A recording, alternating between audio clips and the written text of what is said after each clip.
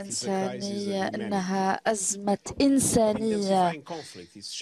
النزاع المتفاقم يهز العالم والمنطقة ويدمر بشكل مأساوي الكثير من حياة الأبرياء إن القوات البرية من قبل القوات الإسرائيلية تستمر في قصفها واستهداف المدنيين والمساجد والمدارس والمستشفيات والمرافق الأمامية ومنها الملاجئ. لا أحد في مأمن.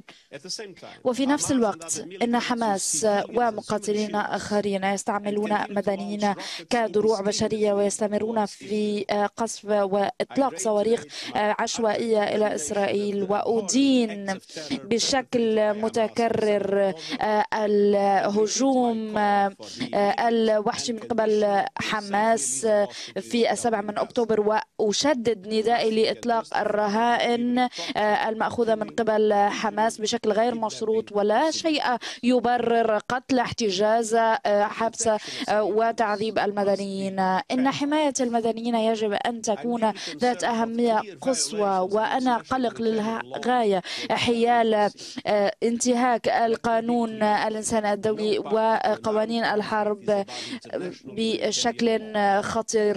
ولا أحد فوق هذه القوانين. لا طرف في النزاع فوق فوقها. سيداتي سادتي إن غزة تصبح مقبرة للأطفال. الصبيان والفتيات يجرحن ويقتلن كل يوم.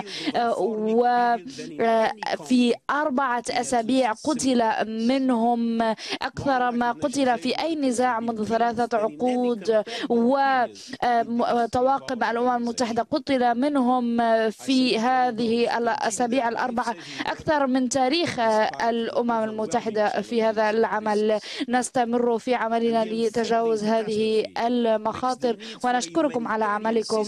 ونحن بحاجة إلى وقف إطلاق نار إنساني يشتد إلحاحا مع كل ساعة. أطراف النزاع والمجتمع الدولي يواجهون مسؤولية جمة لوقف هذه المعاناة الإنسانية الهائلة. وتقديم المساعدات الإنسانية الكافية لغزة بشكل طارئ.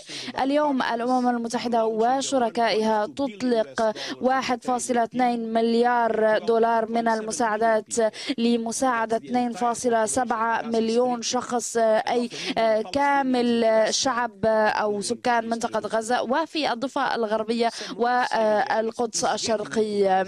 بعض المساعدات المنقذة للحياة تصل إلى غزة من مصر عبر معبر رفح ولكن هذه المساعدات تشكل نقطة في بحر الحاجات ومعبر رفح لا يتمتع بالقدرة لمرور الشاحنات بالقدر المتطلب. أربعة أربعمائة شاحنة مرت في خلال هذين الأسبوعين. مقارنة ب 500 كانت تمر كل يوم قبل الأزمة.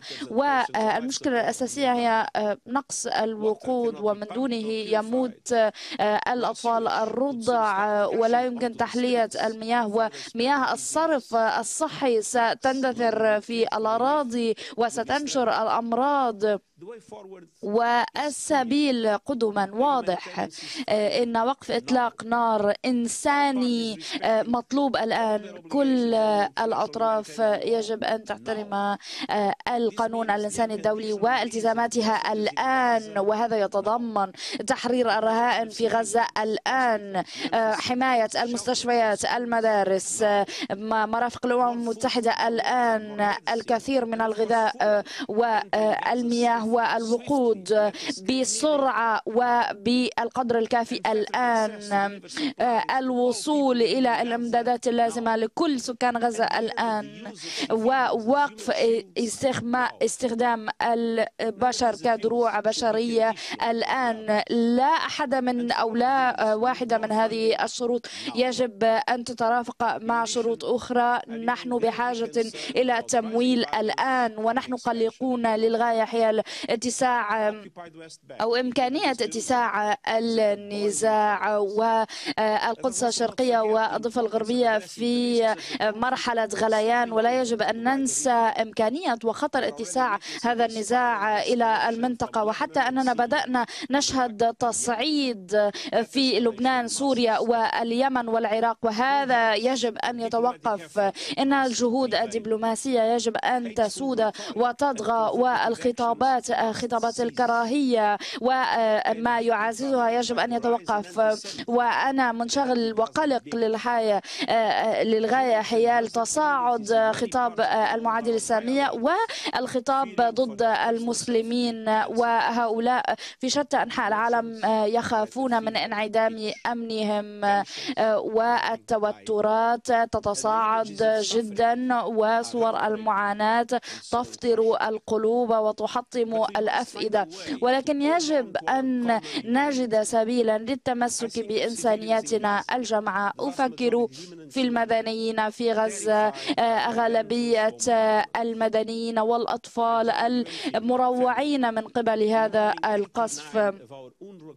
89 من طاقمنا الأونروا في غزة قتلوا وأنا أنعاهم وإياكم وهؤلاء قتلوا مع عائلاتهم بشكل بأغلب الأحوال وكانوا يشغلون مختلف المناصب وكان لهم أحلام ومنهم تلميذة كانت متفوقة وأصبحت مبرمجة وعملت على تطوير مهاراتها حتى أصبحت في الأونروا وأنا أشعر بالإلهام من نموذج النموذج الذي شكلته. وأنا قلق للغاية حيال كل من قتلوا وعذبوا وخطفوا من عائلاتهم وأحبائهم ومنذ عشرة أيام التقيت بواحدة من عائلات هذه الرهائن أو هؤلاء الرهائن. وقد شعرت بغضبهم وتأثرت بكلامهم. ولن آل جهدا في تحريرهم الفوري. وهذا أساسي في حل المزيد والكثير من المخاطر. أم تشاطرت معي يأسها وحزنها على أسر ابنها. وأيضا تحدثت عن أو أمام مجلس الأمن وقالت حينما يقتل أطفال